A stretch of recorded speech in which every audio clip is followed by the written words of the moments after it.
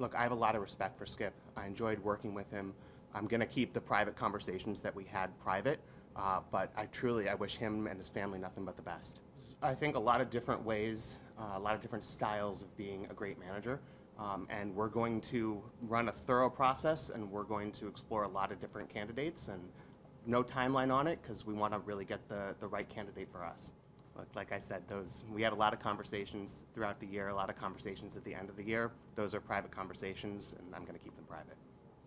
We're building something great, and we're doing it the right way. We're going to give them all the resources that they need on the field, off the field to be successful.